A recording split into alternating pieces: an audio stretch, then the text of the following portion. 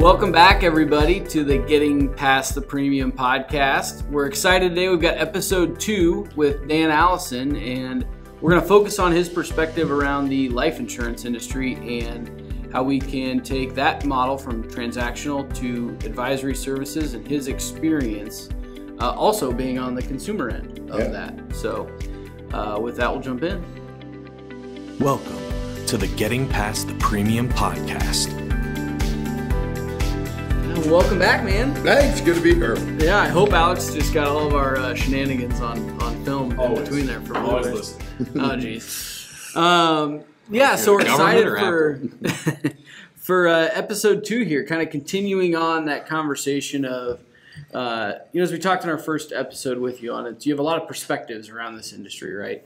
Um, and so today we wanted to focus around that in the life insurance space, as well as your perspective around life insurance as a business owner and a consumer, um, essentially, uh, because you you went through it, you lived a lot of the things that uh, you know we are talking about on the podcast.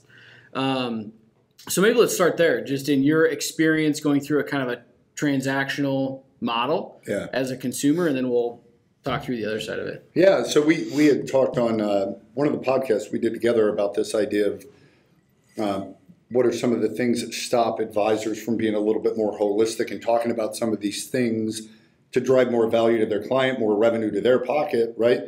And I don't think there's anyone that is more taboo than life insurance. It's Yeah. it's a dirty word, and uh, it's something consumers hate thinking about because it involves mortality and acknowledging that you are going to die. And it's something that's hard to talk to people about, even though today countless people died, right? So I look at, um, again, if, if my job is to, to truly drive value and be of service to my client, and they're taking a risk um, in the life insurance space, it's your job to talk about it. Um, so the, uh, a few things from a high level, and then I'll go into the personal experience that I've had Yeah. that makes me kind of passionate about this stuff. Sure. Uh, first, you know, when we talk about life insurance, I always tell advisors there's two kinds basically. The first is if you die prematurely, uh, people you love will be financially devastated. If you say yes, if you check that box, then that's one kind of life insurance the, the premature death, and that's normally term insurance, right? There's a period of time where that's a real thing. You know, my kids are five and seven and nine, and Protecting against that financial. risk. Absolutely. If I die, I can't stand the idea of them packing up, moving out of the house because they can't afford it. So it's so cheap. Yeah. I don't understand why every single human doesn't have it in that scenario. It's because we're not offering it. That's that's the only reason. I mean, they'll bitch about twelve bucks a month for, you know, a million bucks of life insurance, and then go spend nine bucks on a coffee. It's anyway. With There's that. 18 shots of caramel frappe, something. Exactly. and and then the, the second one is life insurance that's strategic in nature. It's us- using the construct of a life insurance shell to further a planning goal. So that could be, um, you know, I'm worth $40 million today, and when I die, depending on where the estate tax goes right now, which not going to go higher, it's going to go lower the threshold. Yeah. Um, you know, I'm not real happy about the idea that $21 million is going to go to the government when I paid countless dollars Yeah. to even accumulate that wealth while I was alive. So a strategy is to buy a policy so that that 21 million bucks comes in the form of life insurance and the people I love, the charities I care about get all that money. So it's really premature death, take care of the people you love, um, strategic, utilize it to advance a planning goal. Um, so I'm a good example. I always talk about my first company that I started uh, during graduate school in the mental health field. Uh, my partner and I started it. You know, we had a, never dreamed it would become a big company. I mean, we just had a passion for helping kids who had mental health issues and disabilities, and took out a ten thousand dollar line of credit from Wells Fargo um, on his credit, not mine. I'm it's like 22 years old at That's the time. risk management. Yeah. the uh, debt collectors after me at the time. Uh, we and we opened our little location, and, and five years later, we had 500 staff and 70 locations and 20 million of revenue. So we, we were good at what we did, um, and then we sold the company. However, during that entire period of time, we had a buy-sell agreement that was in place, Yeah. and it was funded with 200 thousand dollars of life insurance because we somebody told us, hey, if you own a company you talk to a lawyer and put a buy sell in place. And we were like, okay, cool. You know, you got to do that. We did. Paid the lawyer five grand. Got the the, the leather thing and Yeah. stuck it on the shelf. Done. Glad that's taken care of. Meanwhile, taking horrible risk. The so yeah, entire a twenty million dollar company. 200 grand of life 200,000. insurance. So you think about if either of us died, which by the way, my partner Scott did die um, four years ago, five years ago, suddenly out of nowhere, died. Um, he, he'd be short, I'd be short 9.8 million of cash Yeah. um, to buy. So what do I do? Right? And but nobody. I was surrounded by PNC firms. You know, we had 50, 60 vehicles. We had 70 locations. You know, we had 401k plans and financial advisors. Everybody around us. Nobody said, "Hey, you've grown at a pretty good clip." Has anybody reviewed all that stuff to make sure it's still good? Mm-hmm. Uh, because if Yeah. they did, they would have, like we talked about on one other podcast, they would have identified risk that we were unknowingly taking, that we were not comfortable with the level of risk should that event occurred. Mm-hmm. We would have mitigated the risk. They would have made a ton of money selling us life insurance to mitigate the risk. By the way, when my partner died, I would have probably still been the beneficiary of that policy, and he would have left. You know what I mean? Even though we didn't have the company, he would have kept the policy Yeah. um, or somebody would have got that death benefit. And it, that happens all day. So any advisor watching this who is in the business marketplace, really any marketplace, but business, I can't tell you how many owners we look at, and they are underinsured, uninsured. Oh uninsured, yeah. and All of it. every single day they're taking that kind of risk. So let's let's think about that scenario though. What let's say that your partner had passed away when you guys were operating the business, you know, right at the end there when it's worth the most amount of money.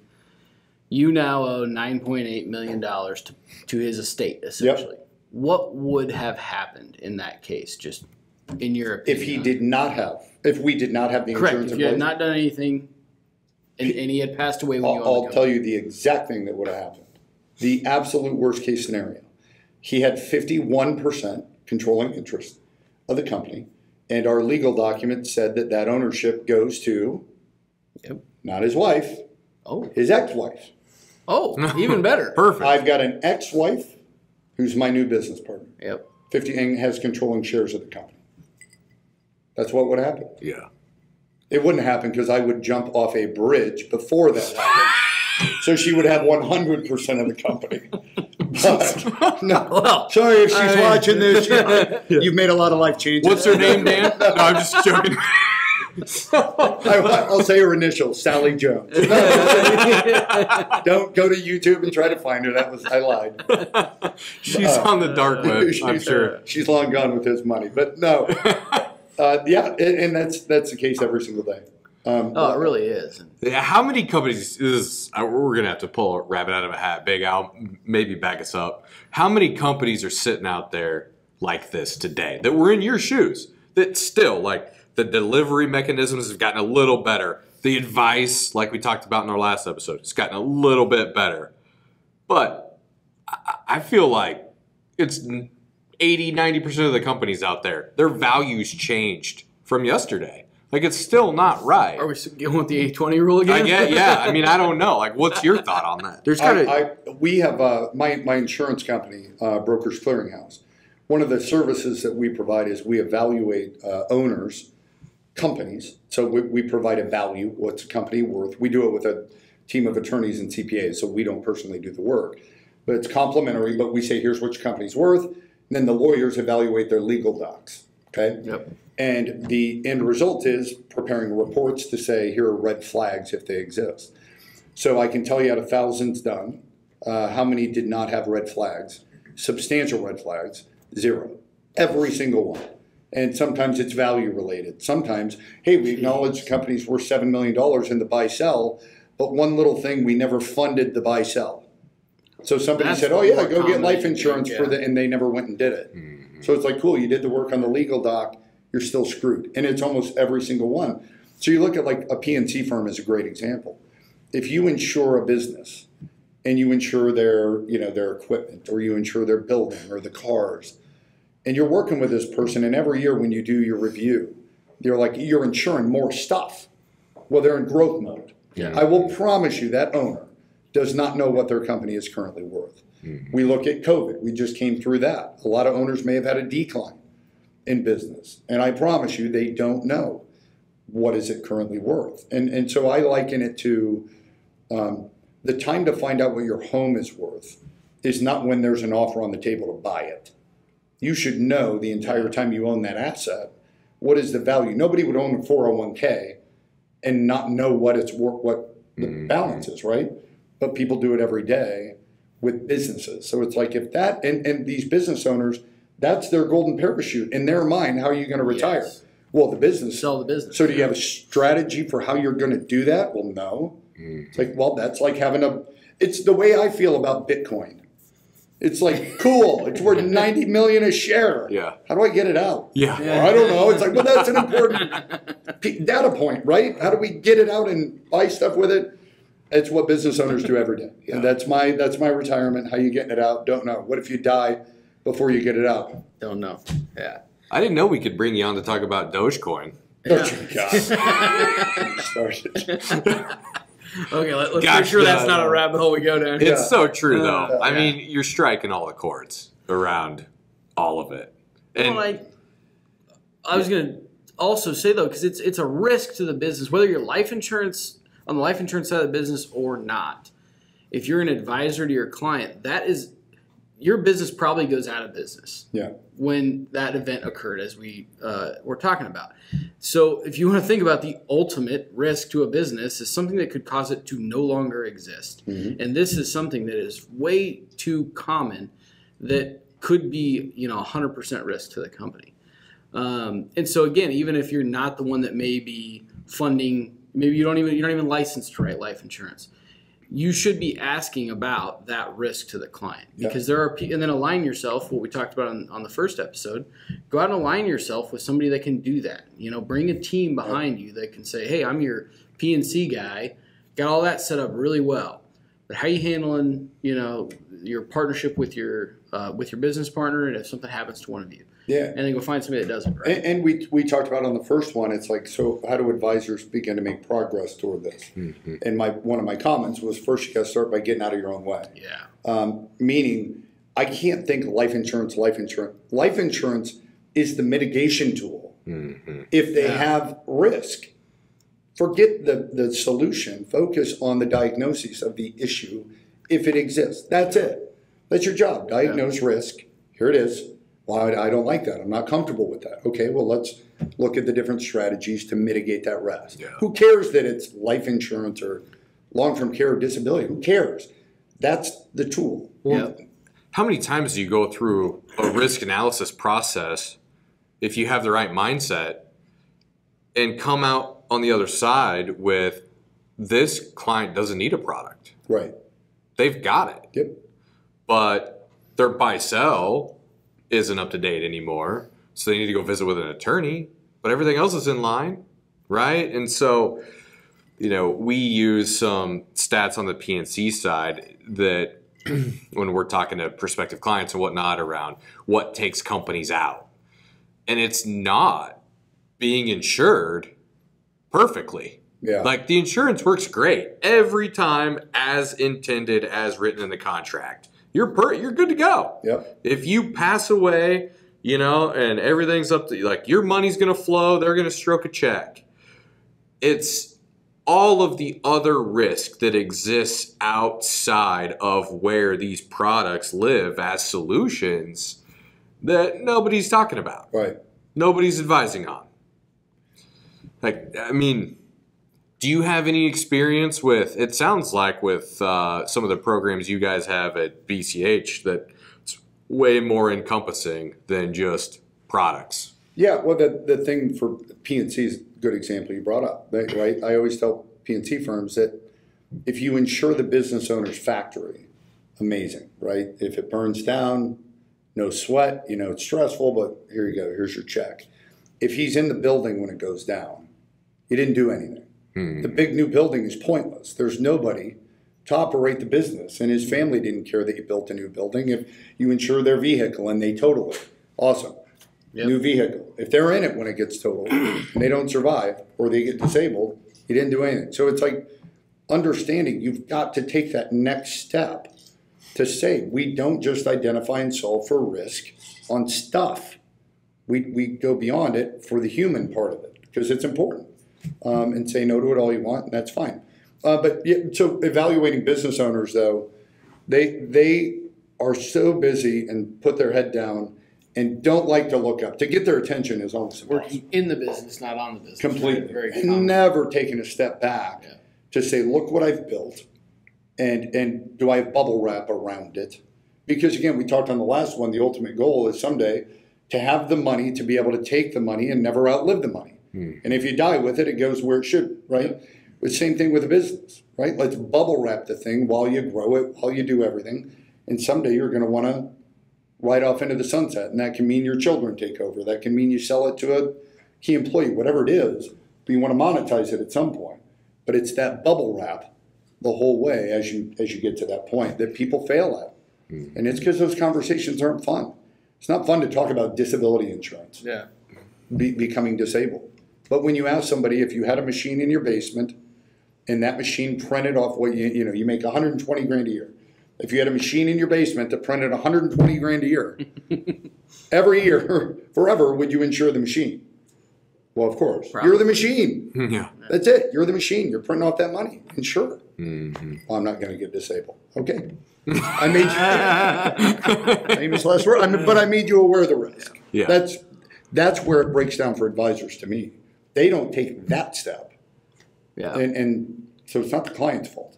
Well, I totally agree with that, and I think there's a there's a step in there though that I think is easier for advisors to realize that they can do because I think it's we talked a little bit on the last one transactional to advisory right it seems like a mountain to climb sometimes Right. but you can be in that transactional model and bring a ton of value to your clients by asking them three questions you know at, the time you're going in to talk to them about their PNC just figure out what are the top three things that you know might be worth even if you have no, it has nothing to do with the PNC insurance or whatever or life insurance or name the product and go in and just ask them hey you know when was the last time the buy sell was updated? Business has really grown. And if they say holy crap hadn't thought about that. Yeah can you help me with that? And if you say no that's not what i do but let's figure it out together.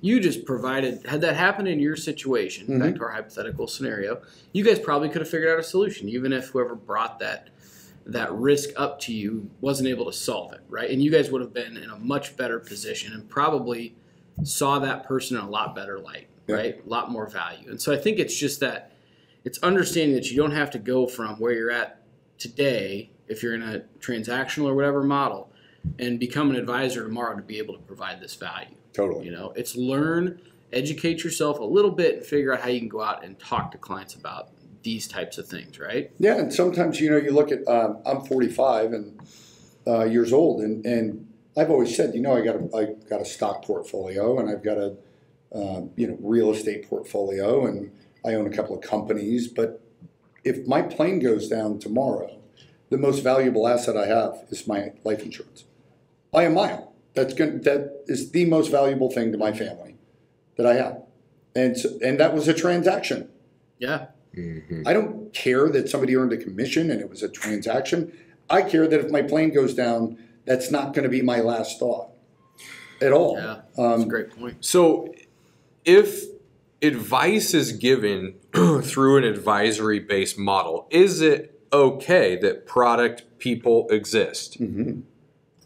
And, like, does that change your thinking around it? Or, like, how do we get to that? Because it's like, without what we spent a lot of time talking about in the last episode was product people without an advisory based model is a broken delivery system Right.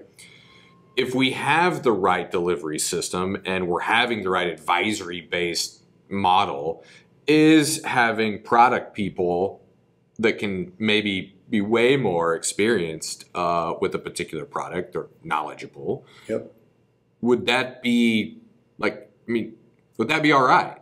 What do you think about that? One hundred. oh, To me, again, if if I view all, all a product is is a tool to mitigate risk. So there's got to be a human being that distributes the, the tool to mitigate risk. I mean, so it takes the onus off. The problem with life insurance is it used to be sold to in in the wrong way. I mean, you, people bought too much. They bought the wrong kind. Whatever. if you're identifying a gap in somebody's existing plan that creates a risk that they're uncomfortable with, and they say, I want to, if I can get rid of that risk, I want to, they don't care that you say that guy's going to do it. Yeah. Because I'm not the expert, he's the, they could care less. Mhm. I don't care that the pilot on my airplane is not also serving me peanuts. It's okay. That's her expertise. He can be up there. He's coordinating air traffic control. Important job, right? Yeah. They don't look to you to, to be the delivery system for everything. Mhm. Your job is to identify and mitigate risk, period. Sometimes you're the solution for that risk. Other times you got to collaborate with other people that come in and deliver it no differently than a doctor does. Yeah. Yes. Doctor comes in, he diagnoses, he says, All right, I'm going to recommend you go see this guy, and here's why. Yeah. Okay, I'm running to that guy Yeah. because I want the benefit. I'm not comfortable with the risk of having a torn meniscus Yeah. and continuing to go running. Okay, go see that guy, he'll knock out that risk. I don't go, Oh, you sold me, right? yeah. Now you made a ton of money, Yeah. But we don't So view true. doctors like that. They're solution providers. And once we start looking at ourselves that way, I, consumers will feel that. Yeah. It's not sales. Well, I think it goes back to, and I think we're we're coming up here, but uh, it's something you said on the first episode that I think is a good way to kind of close out our little two part series here. Is I think our industry has to get back to understanding that we sell inherently important solutions to our clients. Whether you look at that as selling a product, a transaction, or a true advisory model, if we view it in that light, it's almost incumbent upon us to make sure our clients have those products in place, Mhm. right? Uh, we have to do our job to identify those areas of need and fi- help the client find the solution. Um, but with that, man, that was awesome. Appreciate you coming on. Next time I'm having whiskey. Yeah, next Pleasure, time we'll wait till yeah. it's day you won't 76. be in. Uh, I don't know what this Some P90X is. trial. Yeah. Yeah, that's too hard. I tried that. I Yeah. even tried watching that guy on mute and I couldn't do it. He's so, he is so annoying. Says Some of the cheesiest stuff. Oh yeah, Tony Horton. Shout out, Tony. yeah. If you're watching, Tony, Yeah. we'll tag him when we give us a it up. thumbs up. All right, man. Take care, man. Thank you. Thanks, guys. See ya.